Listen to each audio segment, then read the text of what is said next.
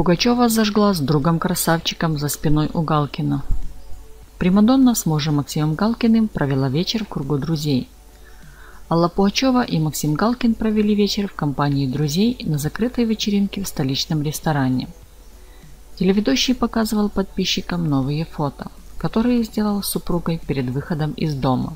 Для вечеринки Примадонна выбрала мини-шорты, плотные колготы, легкую блузку и удлиненный жакет – все черного цвета. Наряд подчеркнул невероятную стройность народной артистки. А в сторис Максим Галкин разместил видео с зажигательными танцами любимой жены. Счастливая и красивая Алла Пуачева танцевала среди своих молодых друзей. На вечеринке присутствовали Григорий Лепс, Николай Басков, Елена Север, Андрей Малахов и многие другие знаменитости. А на сцене блистали Полина Гагарина, Артик энд Асти, Леонид Агутин.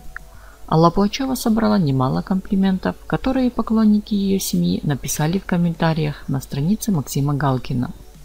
Почитатели таланта Примадонны отметили, что она выглядит великолепно. Самоизоляция пришла ей на пользу, так как артистка стала еще стройней и красивей.